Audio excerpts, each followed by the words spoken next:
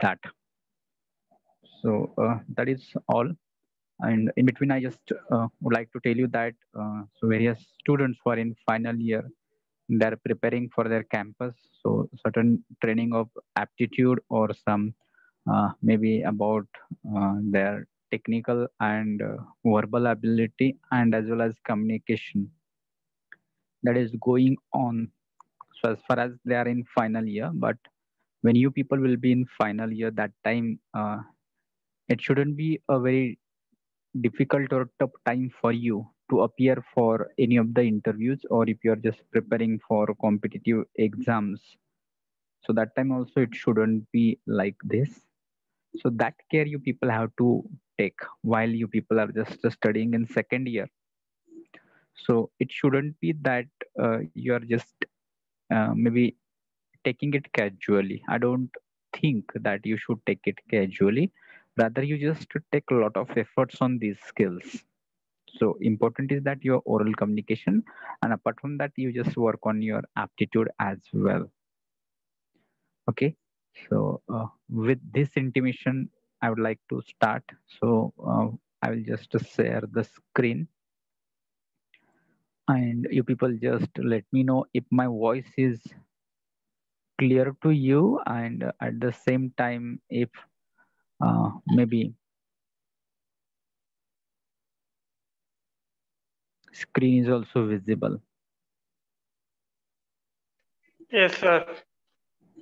okay fine.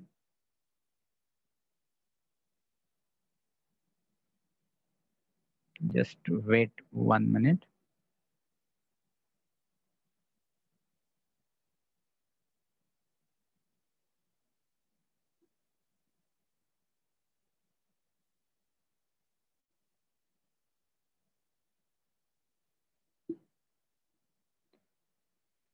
Okay, so uh, today we are going to talk about this that uh, phrases that we people can use to talk about maybe uh, rain. So usually uh, in previous slides we people have talked about um, hot weather or cold weather. So how we people can use certain phrases. So based on that, uh, I have told you people to go and find more words or find more phrases that will be helpful for you so that if you extend your vocabulary, then it will be very convenient for you to speak English. So every time I just tell that one of the problems that we face while speaking English is that we fell short of words. So right now, uh, I may be not able to find proper word to speak, and uh, therefore I just uh, uh, just stop communicating in English.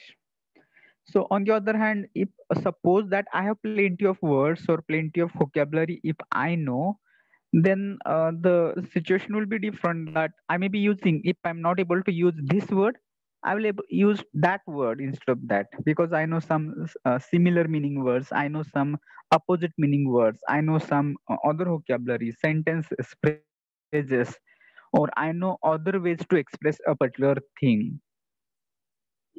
So that time it is possible that we may be just using it alternatively.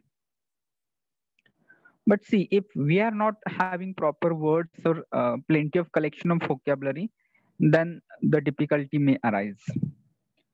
Then another point I always talk, it is about your active vocabulary and passive vocabulary. So I know that you people know so many words you might be just uh, you just try to think that from your uh, maybe first standard to up to here how many words you people might have studied and you might be knowing. But right now you can't use them in your oral communication. Why? Because you're not habituated for that or you're not practicing that. So therefore knowing in spite of knowing so many words you're not able to speak english. And that's why i just tell every day you people have to speak English at least for 15 minutes. And that is what I just uh, wanted to tell you for each day. In each class, I just realized this. So today again, I'm going to ask you two people that last time, uh, Mohini, you said you were not prepared. I hope that in today's class, you might have prepared and Rishikesh, roll number 31, you are also prepared and well, fine. Your health is well, I suppose so So today I will reserve five minutes for both of you and you people have to do accordingly. So uh, with that, we are going to start. So uh, you will see that on your screen that five phrases that we people can use to talk about rain. So usually when it's uh, rain, that time uh, different conditions might be of raining. So we are going to see them uh, somewhere like this. So first of all, you may be just getting the word drizzling or drizzle is the new word. If you don't know, you people have to note it down or you people have to check it into dictionary. Okay, so you might be just getting this word and you'll get the meaning that when we say drizzle, it means that raining lightly. Hmm? So when it is not that much uh, the rain you feel, so that time you can say drizzling. So you can say rim jim paus. So for that, you can use this drizzling. So when you say it's drizzling, it means that it is raining lightly. So you may just get this word. Then uh, next word is pouring. So again, you know the meaning of pouring, but in terms of rain, you don't know perhaps. So when it's pouring, it means that it is raining heavily. So pour that the uh, maybe water droplets they come down quickly on the earth and they fall like and within a short span of time uh, there is a lot of water which is accumulated on the surface. So that time you may be just saying like this that it's pouring. Okay so pouring is raining heavily. Then again here you are getting new phrase now. It is not word but it is a phrase. And what is it you people may be just uh, reading somewhere. Might be newspaper that it's raining cats and dogs or it rained cats and dogs. So what do you think might be the meaning of this cats and dogs? Its meaning is this raining heavily. Okay.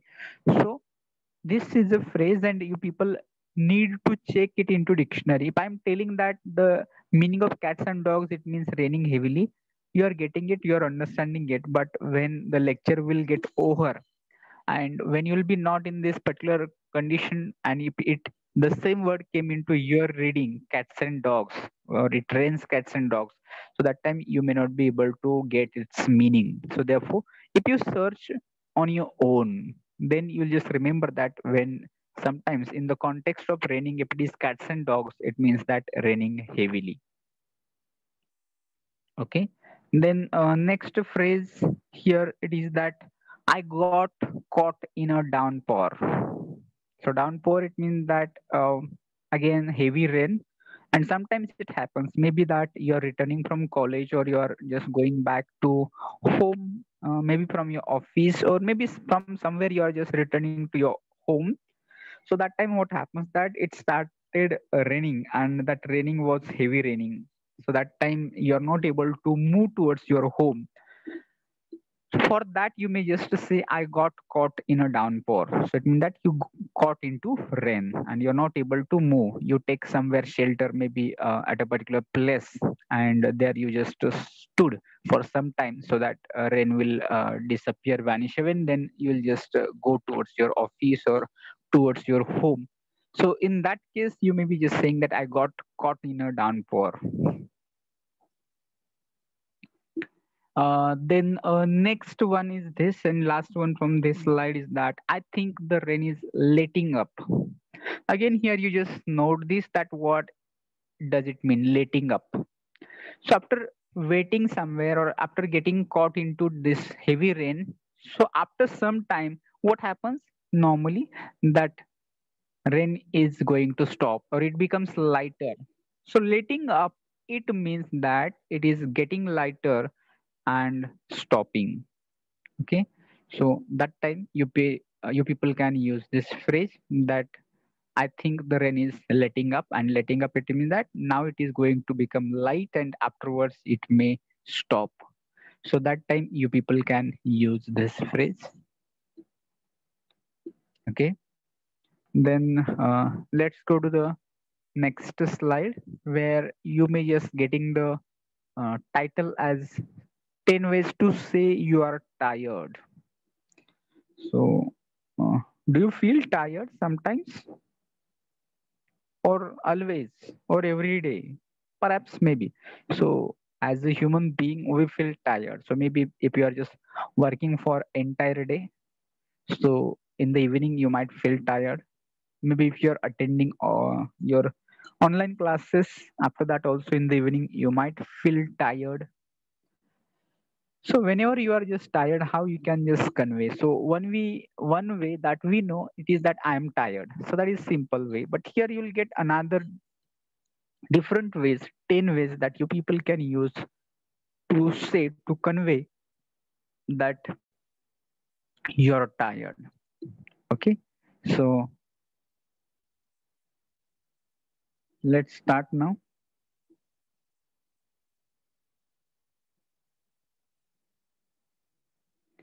So first of all, you may be just, okay, just one minute.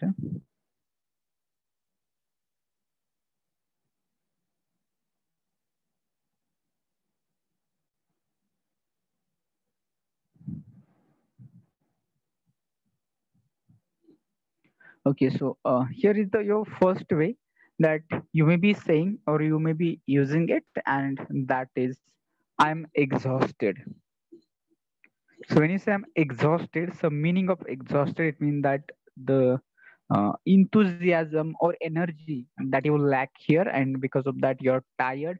Maybe you have done some work, and work may be physical or mental. Any kind of work makes you uh, tired. It is not always if you're doing physical work and that only makes you tired. No, if you're doing some mental work also, after that also you may feel tired. So you may just say, "I'm exhausted." So i'm exhausted because of i have to complete that work on time. So because of that you may be just saying like this. And then uh, next one similar to that you can say i'm dead tired. So already i talked about i'm tired. So that is what we people can use or we have read or listened it. But when you say i'm dead tired so what does it mean dead tired? So you're too much tired, very much tired. So that meaning to convey very much, you can use here the word dead and you can say, I'm dead tired. Okay.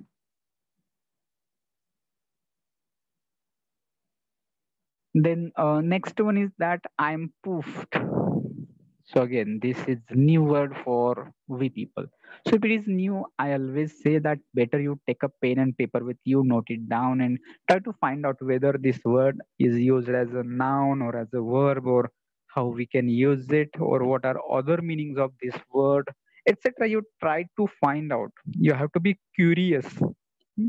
So then only you people will just search it. Otherwise, if just listening it, it is just watching this slide or watching the screen or listening to me that is not sufficient. Okay? Then uh, let's one is that i'm spent. So meaning of poop i just would like to tell that it is again similar to tired. You are saying that you're tired. So next one is that uh, way that you can use it is i'm spent so we know the meaning of spend. Yes, P-E-N-D, spend. It means that we spend something. We spend time, we spend money, or we spend uh, other things like this. But when you are just talking about the uh, uh, this uh, tired, so that time how you can use this? I'm spent here. It means that you have spent your energy and that's why you can say you're tired so i'm spent it means that your energy has spent and that's why you're feeling tired so similar to I'm tired. Meaning of this will be you're tired. If you're saying I'm spent, it will be same as tired. Then uh, next one is that beat. And when you say I'm beat, see, remember beat has a different meaning. So perhaps you know another one. Beat means to hit someone. Okay. But here beat it means that you're tired i'm beat it means you're tired then uh, next one is that i'm running on fumes so what do you mean by running on fumes or i'm running on empty so here you are just again drained of energy. So you don't have the energy to work now. And that's why you can say I'm running on empty or I'm running on fumes. And it conveys, it indicates, it tells that you're tired. So you can use this I'm running on fumes, I'm running on empty. So these words, phrases, you have to make familiar by listening, by reading, by using them into oral communication. You people have to just practice them. Then uh, next one is here, I can hardly keep my eyes open. So that is also very uh, familiar experience for all us. So uh, when you are just doing a lot of work for the day and uh, in the evening because of that work you are just tired a lot of tired and so actually you wanted to stay awake but your eyes are not allowing you to keep your eyes open. So again that indicates you're tired. And so you can say it to your friends or maybe your family members i can hardly keep my eyes open. It means that right now you're tired and you need rest you need sleep. And that's why i i can hardly keep my eyes open. This phrase you can use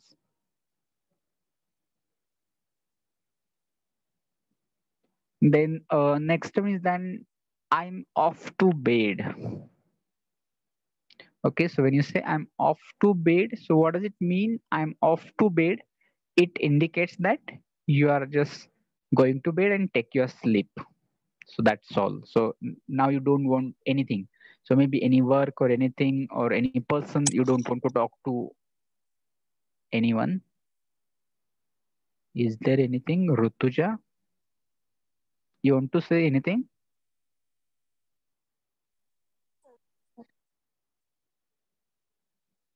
Okay. So you can just say, I'm off to bed. It means that you're going to take your sleep because of you're tired. And uh, next one is that again, a new phrase here. Probably you just note it down. I'm gonna hit the sack. So this is a phrase, hit the sack. And hit the sack, it means that go to bed, go to sleep. So I'm gonna, it means that I'm going to sleep, I'm going to bed. So this is a phrase. And here again, the last one from this slide it is that it's bedtime for me. So when you say bedtime for me, it means that you are going to sleep. It is uh, time that you go to bed it is time you go to sleep. And uh, so uh, might be you've done the entire work of the day and you're feeling it a uh, little bit sleepy or tired and so you're going to sleep. So these were the different ways. I just told that we know only that we can say i'm tired but you can say you're exhausted dead tired pooped spent beat running on fumes running on empty hardly keep my eyes open off to bed hit the sack bed time so these are the different words you people have to use whenever you feel tired. Okay? Then uh, let's go to the next slide where you people may be just uh, getting the title here that phrases for promises and resolutions so promises that we know sometimes we promise our friends that i will do this or i will not do this hmm? and again it is mostly in case of secret we promise our friends that i will not break the secret or something like this but here, what do you mean by resolutions? So the word resolution, it indicates that uh, some determination or some uh, maybe your strong will that you're going to follow. That is called resolutions.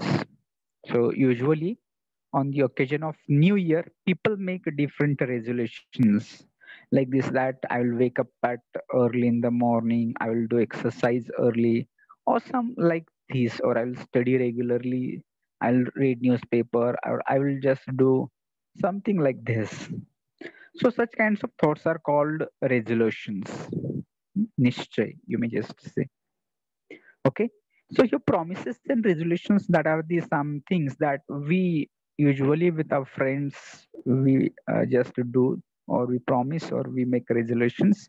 So let's see what are the other words what are the uh, different words that you can give promise or you can just make a resolution? So here first one is that i really should and then there is dot dot dot so you can begin like this so here you are going to make your resolution here by saying I really should study hard. Okay, so this is maybe your resolution, or maybe you are going to make it a promise to yourself here when you say, I really should. Okay, so you can just replace this. I really should, instead of just study hard, I really should do exercise. I really should help others. I really should do something. So there can be number of situations, number of examples that you can put after should. And that's why you just try to make your own example by just putting your own words. You can begin like this, I really should, and then you can just put your own examples. Then next, how you can make a promise. Okay. So here you can begin your sentence like this. I promise that i will. Okay. And again there is dot dot dot. So when you say i promise that i will then you say i promise that i will complete my homework on time. I promise that i will use my uh, mobile uh, hardly or i promise that i will uh, keep my room clean and neat. I promise that I will do this, or I promise that I will always speak truth. Okay, so there could be number of such situations that you may add here. And similarly, I would like to tell you instead of just using it positively, you can just use negatively also. Instead of just saying I will, so people can say I will not also, I won't also. So I promise that I won't lie. I won't lie means I will not speak lie. We can say I promise that I will not waste my time or I will not waste food. I will not do this. I will not do that. So there could be number of other things that you can just add here after that. And I can say, I promise that. I promise that I will always help you. I promise that I will always accompany you.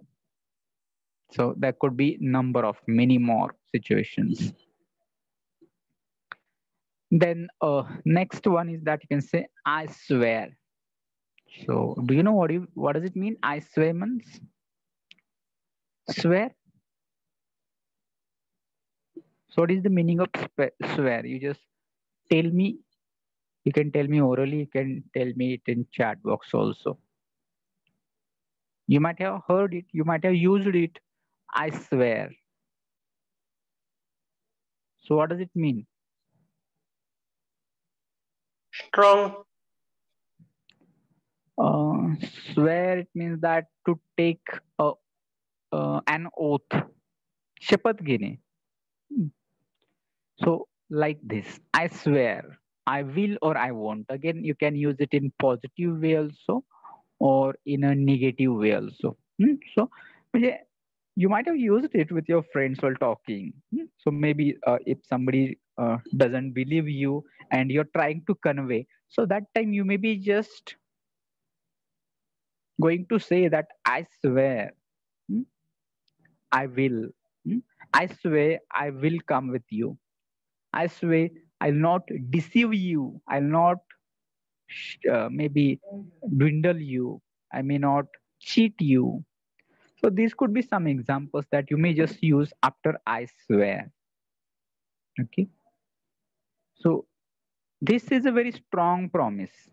So it is maybe when you say I swear, so instead of just saying I promise, so strong promise will be when you say I swear. Okay.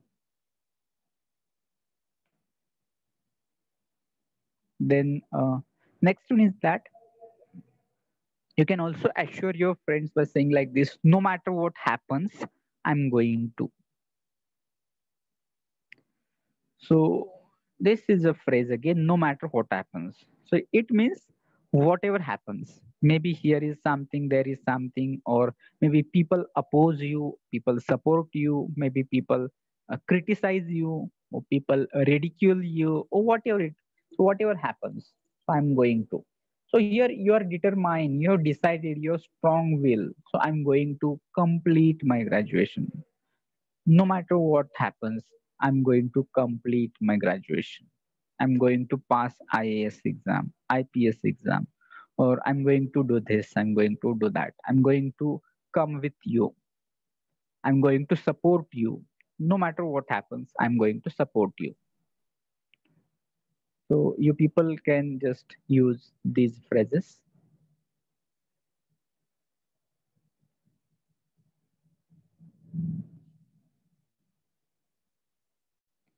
Then let's go to the next one here. Similar to that, here you may be getting another phrase and that is come hell or high. What do you do? Do people note it down? Come hell or high water. And what do you think the meaning of this phrase, come hell or high water? It also means the same, no matter what happens, whatever happens. So for that, you people can use this phrase, come hell or high water, I will. And then you just say, I will come with you, I will help you, I will just support you, whatever you are going to say, that can be just said after this I will. Or similar, you can say I won't also. So you can use sentence in negative way also. Okay.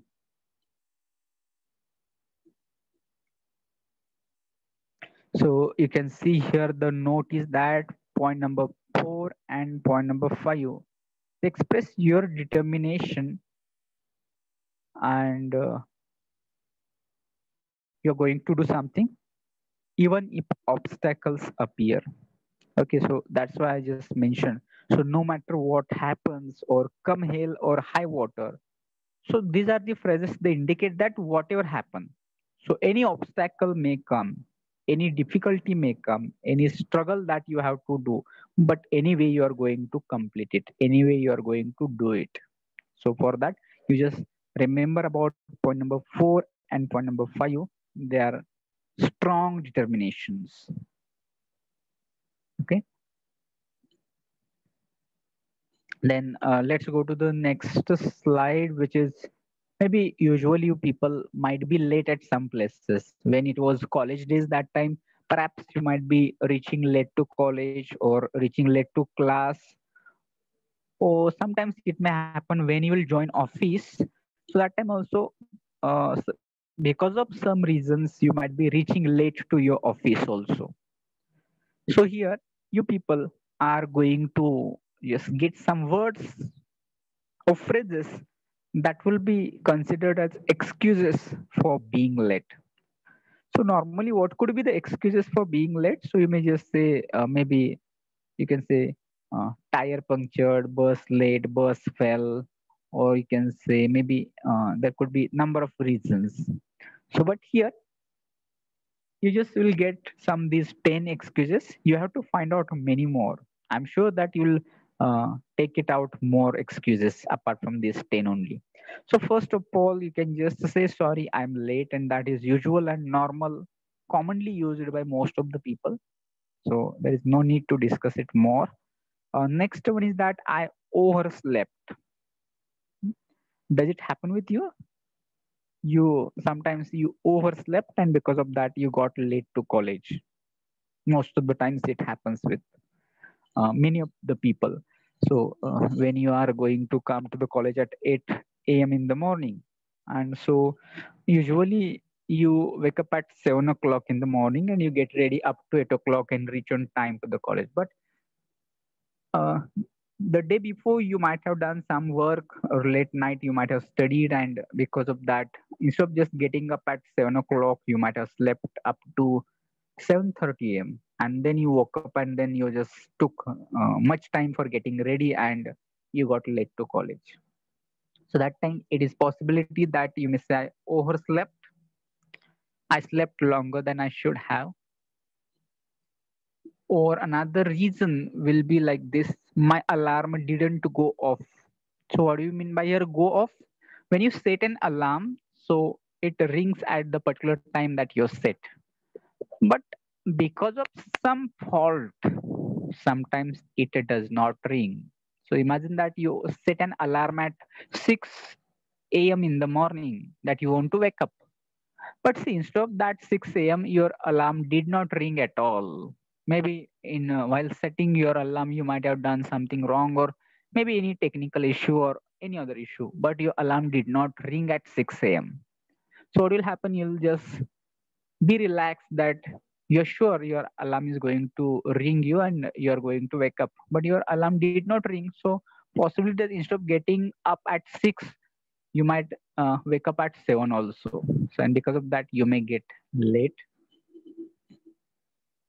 then uh, next one is that i had to wait ages for a bus okay so we know that waiting for bus but what do you mean by ages for bus when you say I had to wait ages for bus, it means that a very long time you have to wait. Hmm? So usually when you'll just use public transport, so that time you may experience this. You may be traveling with your bus and uh, your bus may not be just on time. So there you have to wait. Maybe about train, maybe about sometimes flight. Okay, so in case of train and flight, that much delay is not there. But in case of bus, perhaps you have to wait more okay or simply you may just give excuse like this the bus was late okay so that was all thing that i should discuss now. A remaining point we'll discuss it later. So what about uh, i would like to ask mohini. Are you prepared today? Roll number one mohini.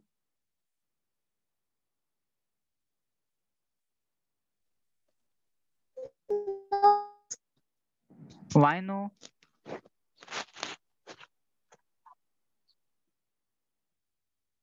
Okay, so Rishikesh 31. I don't see he's in the meeting. He is not there. Okay, fine. So I'll just ask the roll numbers. Uh, maybe those. Okay, we'll take attendance and then we'll go for quiz. So those who are connected, Rishikesh, roll number 16. You just say yes or no, present, something like this. 16. 33. 1. Yes, sir. Okay. 2. 3. Yes, sir. Okay. 6.